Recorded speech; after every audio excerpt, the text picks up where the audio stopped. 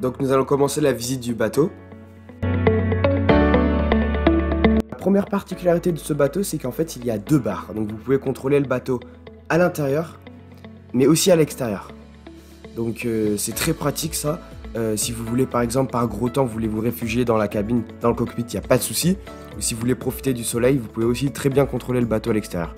Donc ça c'est une particularité très importante et, très intéressante sur ce Nautica 36.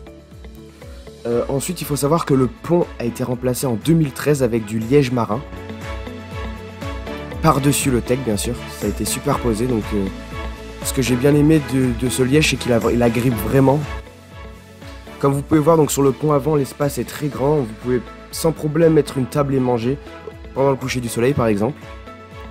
Donc là on a l'encre principale euh, qui fait 10 kg et qui est raccordée à 50 mètres de chaîne galvanisée avec en plus 200 mètres de nylon.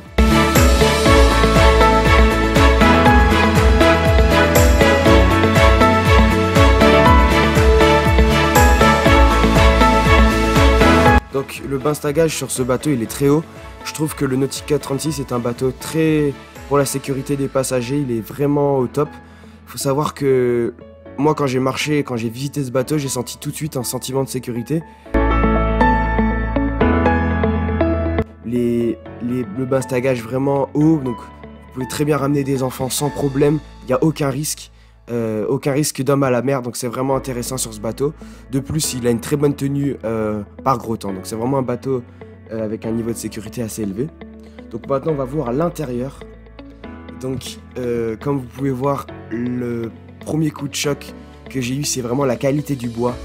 C'est vraiment un bois très, de très haute qualité, euh, en sachant que c'est ce qui fait le poids assez lourd de ce bateau, c'est qu'il y a beaucoup de, les, comment dire, les matériaux sont de très bonne qualité et donc forcément euh, assez lourd en poids. Donc, mais vraiment, il y en a du bois de partout. C'est très marin. J'aime bien ce côté bois massif de partout dans le bateau.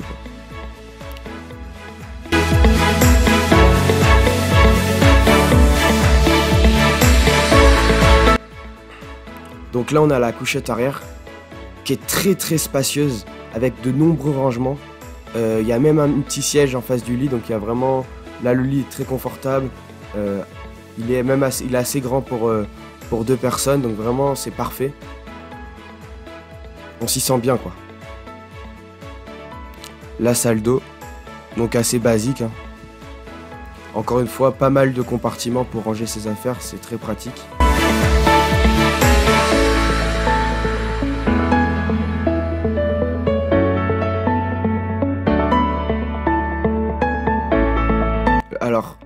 L'autofocus peu lent. Donc là, vous pouvez voir le siège.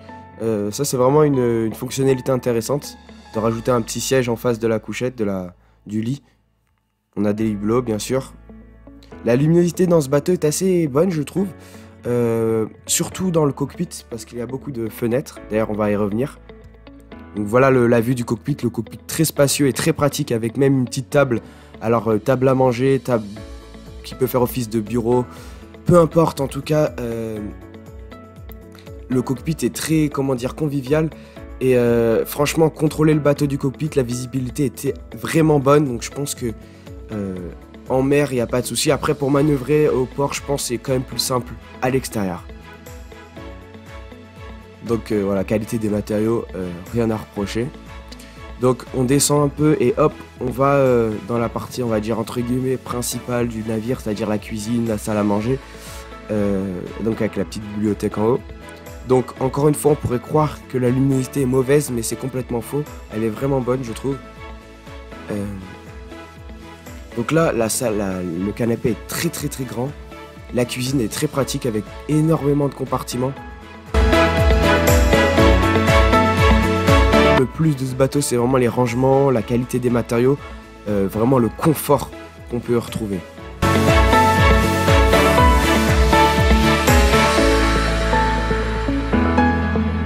Donc vraiment une pièce très agréable pour vivre.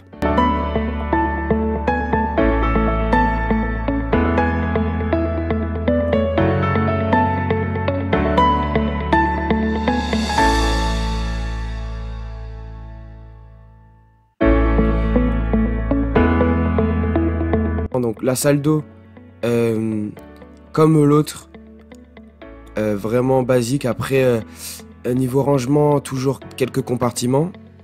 Mais sinon, rien, rien de spécial à dire. donc, j'étais un peu déçu par la couchette avant. Par contre, j'ai trouvé un peu petite en longueur. Donc, c'est vraiment pour les personnes pas très grandes. Euh, après, la luminosité était présente, euh, les rangements pareil. Voilà, le seul défaut que je peux donner, c'est vraiment euh, la taille de la couchette avant qui est un peu limite, je trouve. surtout si vous êtes grand, ça va être vraiment compliqué de, trouver le sommeil dans cette petite couchette. Voilà, alors j'ai quelque chose de très important. là, les compartiments, je ne vais pas tous les vous les montrer, mais il y a vraiment de quoi faire. Hein, pour, vous pouvez partir pour très longtemps en mer avec ce bateau. Alors je voulais juste vous dire que ce bateau est équipé avec un moteur Ford Lehman de 88 chevaux, il a environ 3620 heures de fonctionnement. Donc il euh, faut savoir que sur ce type de bateau, le moteur c'est très très important car c'est des comment dire, c'est des ce bateau a un programme un peu moteur sail, c'est-à-dire qu'on navigue à la voile et au moteur. C'est pour ça que le moteur il est très très important, c'est parce que vous allez beaucoup l'utiliser. D'où la puissance de 88 chevaux qui n'est pas négligeable mais ce bateau peut aussi très bien naviguer à la voile sans problème.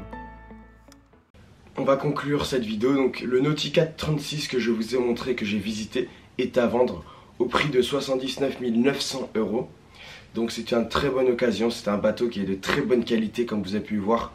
Surtout la qualité des matériaux, le bois utilisé à l'intérieur du bateau. Pour toute personne intéressée, euh, tout est dans la description, les caractéristiques, le prix, le site internet pour voir des détails sur ce bateau. Et euh, je vous conseille vraiment, si vous êtes intéressé, de m'appeler, d'envoyer un mail au propriétaire. Tout est dans la description. Pour les personnes qui désirent plus de vidéos sur les bateaux, de visites sur les bateaux, n'hésitez pas à vous abonner à ma chaîne. C'est juste en bas, vous cliquez sur s'abonner. Et bien sûr, de laisser un petit pouce bleu, un like, pour pouvoir me motiver à faire plus de vidéos. On se dit à la prochaine pour une prochaine vidéo.